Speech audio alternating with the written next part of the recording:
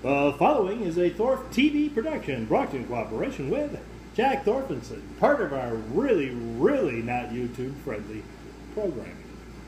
Ladies and gentlemen, it's time for the SOCS Show, brought to you live from Mr. Holster's Ranch, way up north near the Canadian border. Let's have a big round of applause, because here he comes, direct from the bar, Mr. Holster! that guy's back again. I thought we put him off the air. I thought we finally got rid of that bum. I tell you, Mr. Holster's the biggest. Oh, Mr. Holster, hey, that's me. Hey, howdy.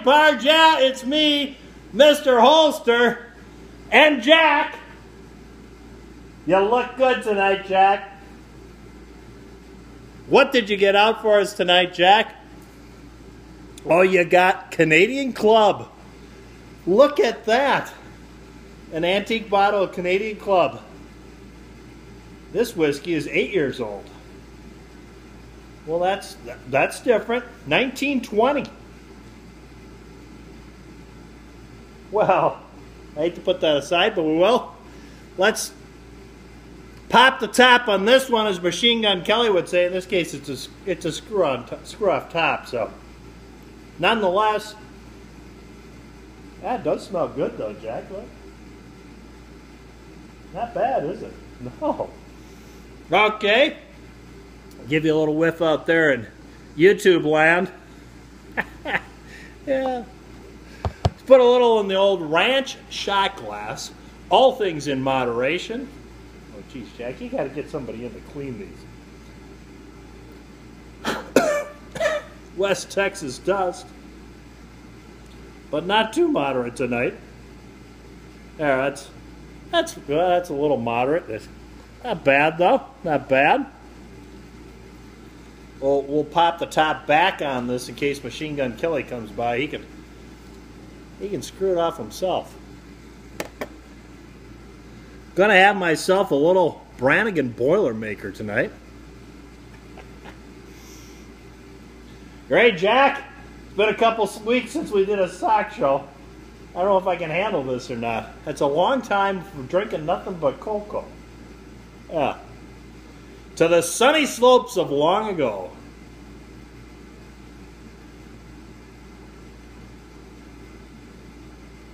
Oh my, that's good, Jack. That doesn't heat you up and cool you down all the same time.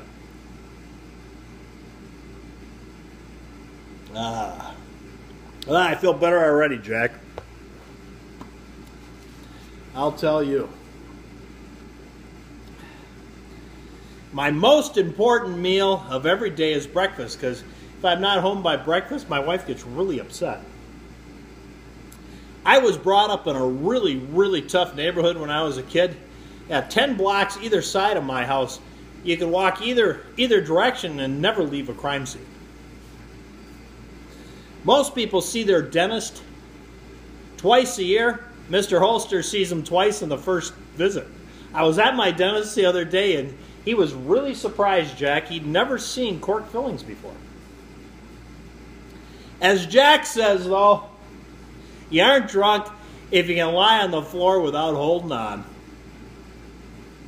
I, I tell you, Mr. Holster, though, is getting old. Jack and I went to the Indian Casino the other day to do a little gambling, and every time I, I put a quarter in the slot machine, three prunes came up. And Jack, Jack had a little too much to drink that night, and I insisted we drive home. I, I drove us I drove us back, and Jack didn't look too good when we got back. And I said, Jack, maybe you should take a little walk out by the cattle pen and get some fresh air. Jack said, yeah, that's probably a good idea. It would probably help. And Jack did, and then longest time went by, and and Jack didn't come back. So I walked out to the cattle pen to see how Jack was.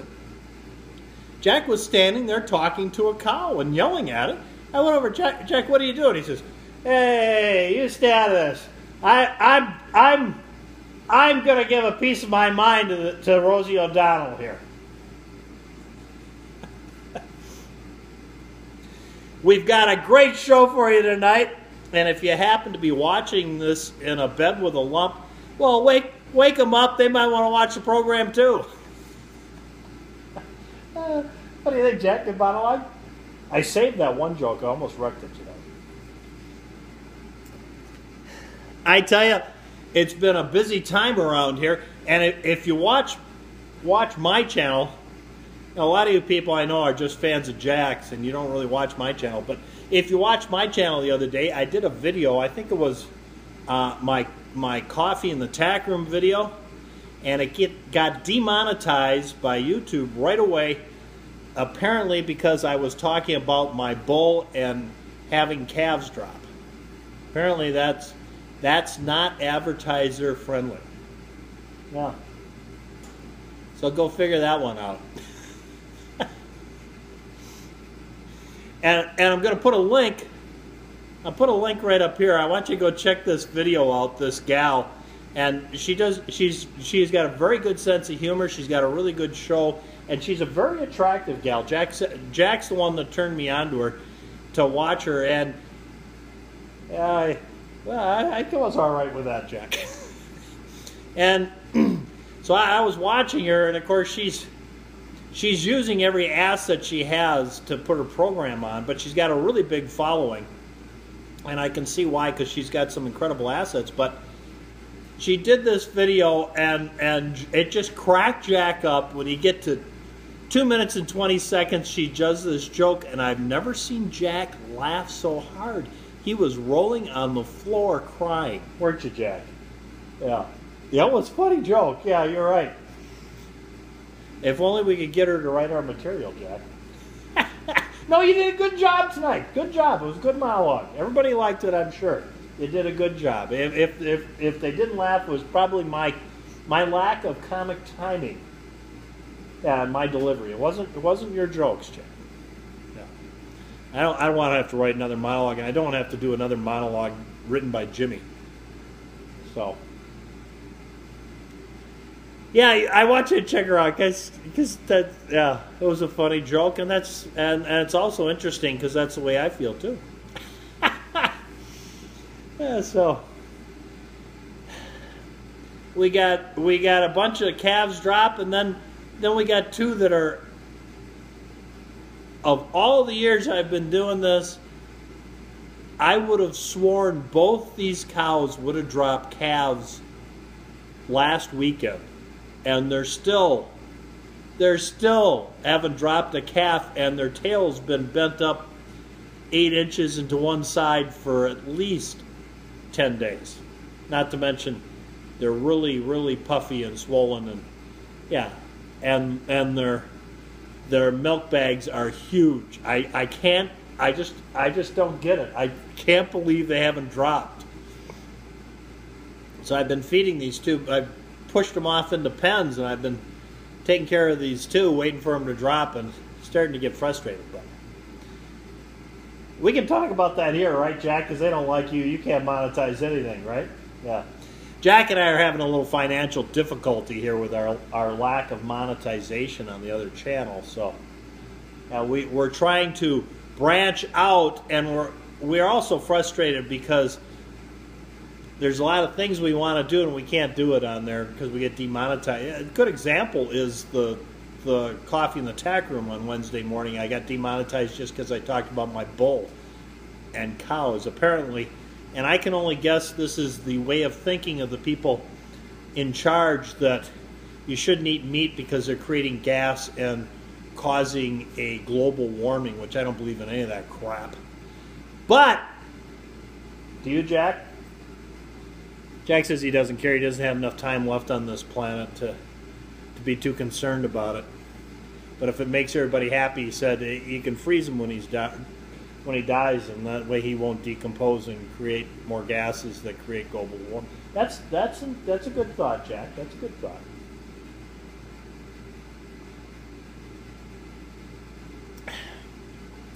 So, Jack and I are taking the plunge, and and we both have absolutely no confidence in this, but we're going to do it anyways, only because it'll enable us to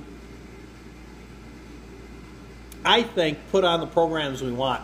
We've done two things. Number one, we've we've opened an account on theguntube.com and we're putting videos up there. We're going to make videos for that. And we're going to make videos for that. We're going to take a different approach. We're going to make videos to put on there that are videos for that.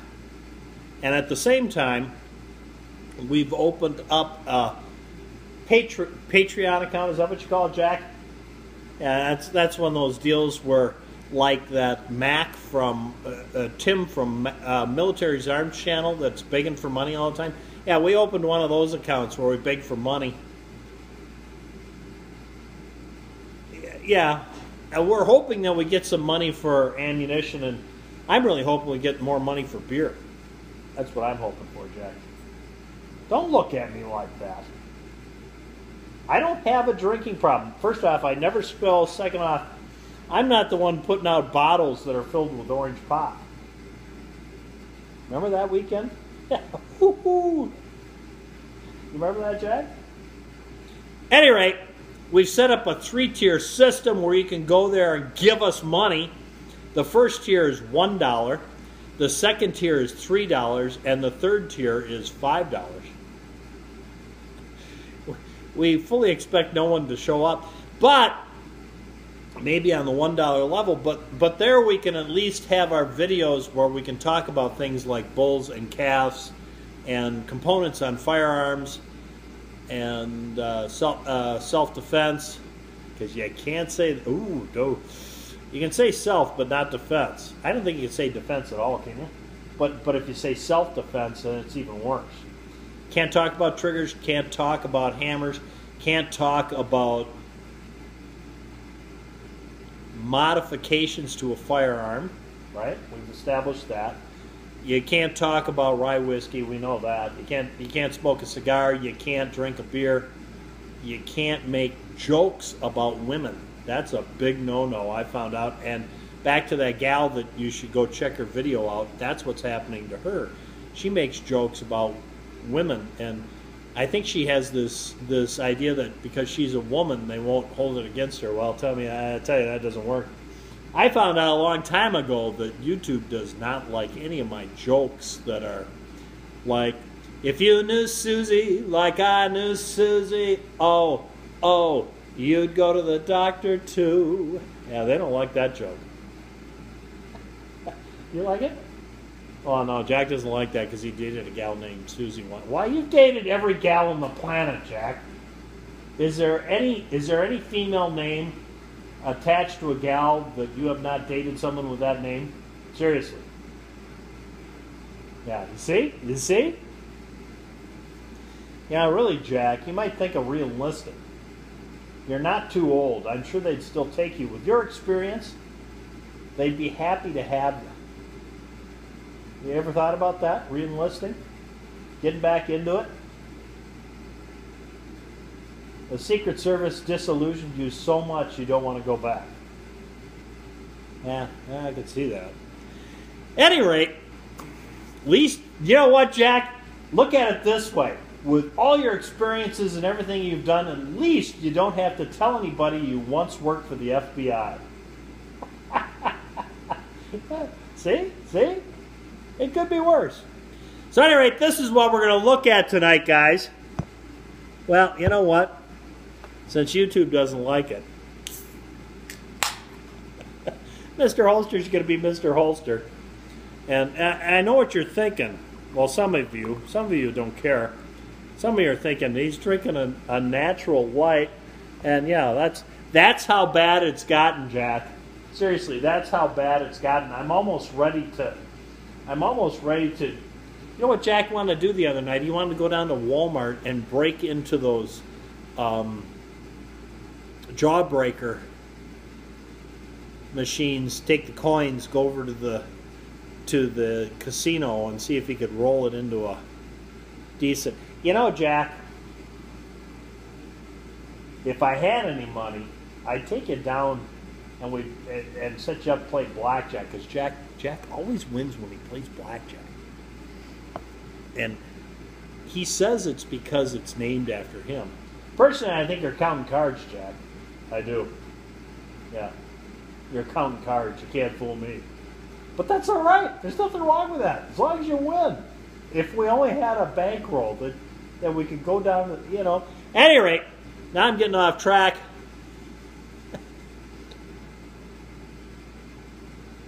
yeah, it's stolen beer too. It's from my wife's fridge. If she sees this, I'm in trouble. This is the firearm we're talking about tonight. I got this out mostly because I tried to get in the safe and it wouldn't let me in because the battery had gone bad. And that, that, that wasted a half an hour of our time, didn't it, Jack, trying to find one of those batteries. Anyways, we got into it, and this is the firearm we got out as a result because I saw it sitting there. Why well, I haven't had that out in a while, and I really, really like this firearm. This is one I used to carry, not this particular one. The one I used to carry had a real deep bluing on it and nice wooden grips, and I paid $189 for it, is what I remember, Jack. He's not interested. Any rate, this is a Beretta 21A 22 long rifle, better known as the Bobcat. And, and what makes this a fantastic concealed carry backup firearm, which eh, right there, Jack, holy cow, concealed carry backup firearm. I got four strikes right there to getting demonetized. I know you don't have any commercials here, but that's four strikes, just that that sentence. Any rate, what I liked about this gun so much for that role, it's got a seven round magazine, if I remember correctly. But what I like about it is you can load it without working manipulating the slide. You just deploy the barrel there and you can just put a round in there and shut it. And what that allows you to do is unload the firearm very safely without having to manipulate the slide or like I used to do which I thought was kind of nice is lots of times I would just do this when I got done for the day and slip it under my pillow. Don't try that at home though, kids. I, I am kind of well, I used to be a professional. Any rate, yeah, and then it's perfectly safe. It can't fire, and all I got to do is, and I'm good to go. Kind of a neat gun. It's just a fun gun too. Only real drawback, and it really wasn't to me because I always bought these anyways. You got to use CCI mini mags in it to make sure it functions correctly. But just a neat little gun. Very small, compact, easy to load and unload. And if, if you get, and this is why I still have this and several more, is you start getting older and your joints all hurt. And, you know, someday I'm not going to be able to work a slide. And regardless of what the the world may be, I'm still going to carry this thing. Yeah, there you go. And I can just load it like that and slip it into a nice little leather pocket holster. Thought I'd share that with you. Just a fantastic design and just a, a very clean, simple gun. The Beretta 21A Bobcat. Many a time carried that in an ankle holster. I did. Yeah, you know, it gets down to the nitty gritty in the end. That's what you got, and that that's something else to consider too. I want to talk about this real quick, and and this is the kind of thing you can't talk about. Is you'll notice the slide. Here's the slide. Okay, so first off, see, unloaded if you put this up against somebody's gut and pushed, you notice it doesn't go out of battery because the slide doesn't come beyond this point right here. Makes it a fantastic last ditch effort backup firearm. Because at that point, yeah, you're going to be grappling and down and dirty up against each other. And You can't push it out of battery. There you go. I thought I'd talk about that. See, that's the kind of video I want to make and talk about stuff, and I can't do it here. Period. Can't. Right, Jack? Yeah, they, they may come after us here. Yeah. Yeah. Very disappointing, all in all. I would love to be making videos like that where I give you those little points and and point you in the right direction, those little tips and point you in the right direction. But I can't do that here because I can't even say anything or do anything. It gets demonetized. Beyond that, at some point, somebody gets ticked and flags you, and then you get kicked off. I didn't even finish my second beer. So there. Thanks for tuning in. The guys that support Jack are pretty special to us because you made the journey over from the other channel and and went that extra yard. So we kind of we kind of look at you as being our real heavy duty hardcore supporters, don't we, Jack? Can you stop cleaning your hands for just a second? Seriously. By the way, you know, you can just use soap and water. I don't I don't understand this concept of Jack. This is serious stuff here. Come on. It's your channel, man. These are your people on your channel. You would think at, at, at this point in your life, you wouldn't be all that concerned about going out on a date. But yeah, we're going to rush it along so you can get out of here. Yeah. By the way, Jack got a new car. Did you tell him he got a new car? Jack got a new car. And why did you get a convertible, Jack? Seriously. Today's the warmest day we've had, and I don't know how long. It was 22 degrees today, Jack. And I noticed when I looked out in the barn, the top is down on your car. You plan on driving that tonight with the top down? Seriously? It's got a good heater. Well, I hope it does.